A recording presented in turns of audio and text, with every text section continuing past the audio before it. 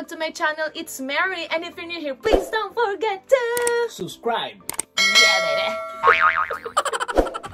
Okay, baby. Let's go. On this video, magpapatattoo ako. As you can see, I'm with someone who's going to be my tattoo artist. I'm Ray. Nakapag-collab ako sa kanya because... Roll, please.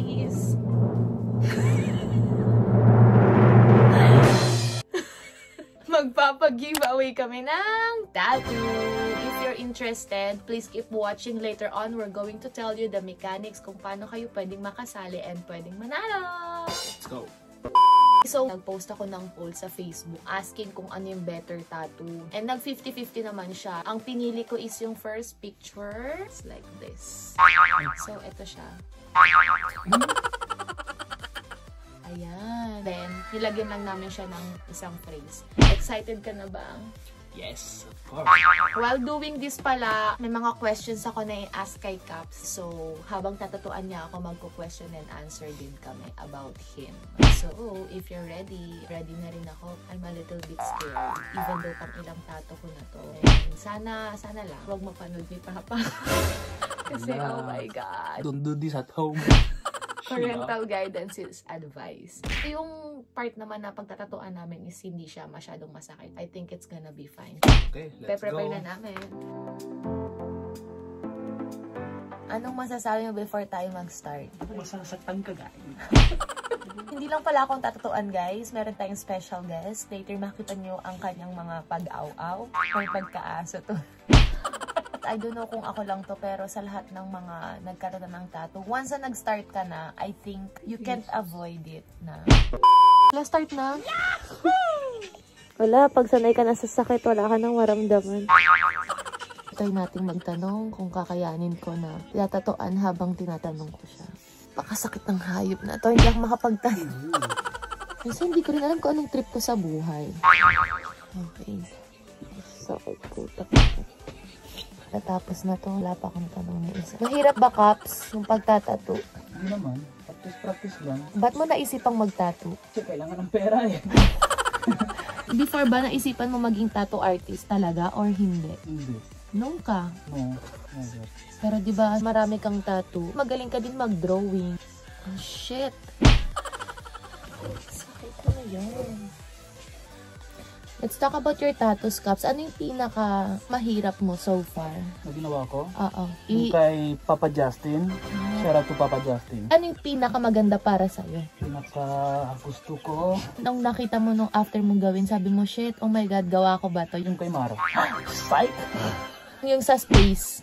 No, yung kay Justin nga. At the moment, yun yung pinaka Tawag dito, sa art. sarili ko. Oo. Sa bagay, marami ka pa ba future appointments? Oo. Kailan yung first tattoo mo, Caps? Sa pa ako. Ilang taon ka nun? 19, 20. Ah, okay. Legal age na para magkaroon ng tattoo. Ano yung fave tattoo mo sa'yo, sa sarili mo, na pinagawa mo? Ito. Ah, sige. Braso ko. Lahat ba ng tattoo mo may meaning or yung iba talkwal lang? Yung iba talpal lang. Pero mostly or mas marami yung walang meaning caps? Mas maraming wala. Nalala ko nung first tattoo ko, yung sa aa. Unang linya pa lang ayoko na putla ako nun ah. Caps. Malapit na. Ito na roses. Mga ilang rosas yan. Dami. Ang sakit. Ang hapdi, guys. Alam mo yung ang dami mong gustong itanong pero hindi mo na maitanong. Nung nasimulan ko na magpatato, nasiyahan ako kahit masakit. Pero usually, nagpapatato ako kapag nasasaktan ako. Pero naging iba nung natuto si Caps. Kahit wala kang nararamdaman na sakit, kahit wala kang pinagdadaanan gusto magpatato. Kamusta naman yung progress natin dyan? Mamatay na ako dito. Hindi pa rin tapos.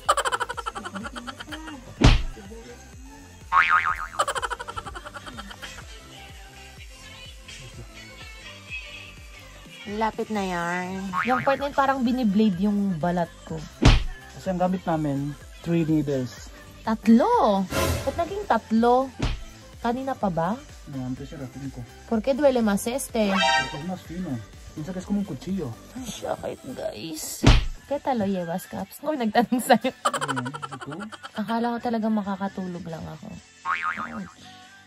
Sakit, shit. Siya nagkamali ako. Puta ngayon. En serio.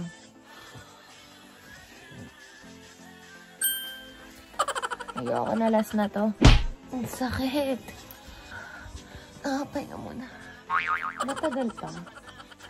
Karot. Masakit? Sakit, tiyo. Kahit manhid na sasaktan pa rin. Ouch! Ang hapdi ah. Diin mo pa kaya, Caps? May galit ata. Akala ko, hindi siya ganun kasakit. Pero same lang pala. Sasaktan ka rin niya. Char! Many hours later.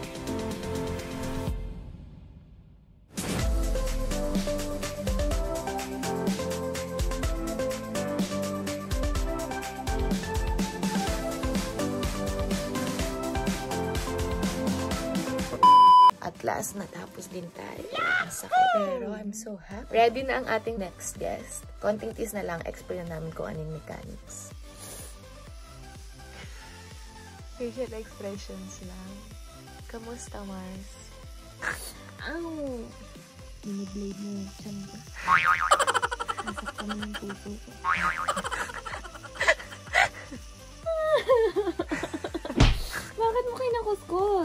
Okay ka ba dyan, Caps? Mhm. Anong mas masakit? Yan o iwan ka?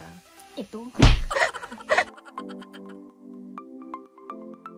The next day. Guys! Right now, we're going to tell you kung ano yung mechanics ng aming pag-giveaway. Simpleng-simple lang. First, dapat nakasubscribe ka sa aking channel. And then, you need to share this video on Facebook. It should be public post using the hashtag 6tattoo giveaway. Then, you need to follow three Instagram accounts. Yung Instagram accounts niya, which are... Six tattoo. That's the tattoo account. And I am the six at six. That's the personal account and of course my Instagram account. It's MSMRYLLYD, Miss Mariloid. After doing all of those, comment down below done. Tapos i-check namin yun, guys. We're going to announce the winner on January 6. One gonna lucky winner lang. Direct. Huh? Direct to na ako. Oh, it's gonna be live. Direct. Yun. So, yung, yung size ng tattoo, pag nanalo ka, it will be 5 times 5, maximum 10 times 10. it's up to you kung anong gusto mong itattoo. Guys, I'm sorry dun sa mga malalayo but it should be Barcelona-based only. Kasi oo nga naman, paano niya kayo matatatuan kung nasa Pilipinas kayo? Bayarin niyo yung ticket ko. Uuwi ako sa Pilipinas. And dapat lang black and white, no color. Tapos and yung size. no realism. Realism. Anong tawag sa realismo? Realistic. So, yung sinasabi ni Caps is bawal yung realistic na mga pictures. Like, kunwari, ka ng girlfriend mo, kaso wala kang girlfriend, wala kang boyfriend. Old school, yung mga simple-simple lang. So, 5 by Letters. 5 and 10 by 10. So, magsha-shoutout pala si Caps. Big shout out to my manong, Yorokobi Vlog, Arpex Tattoo, and also to Kuya Jules, Jules Castillo 1224. Special mention to Dosiro Apparel. Baka naman. Baka naman, sendan nyo naman kami dyan ng sapatos. Just kidding. So, yun, that's it for this video. Please don't forget to subscribe, like, comment, share para hindi kayo nahuhuli sa aking latest video. Good luck, guys, and see you on the next vlog. We love you. Mwah, mwah, mwah. Break it down. Mama a party girl, she just say you ain't wifey type, but I don't care. She like to do drugs too. She in love with guns too.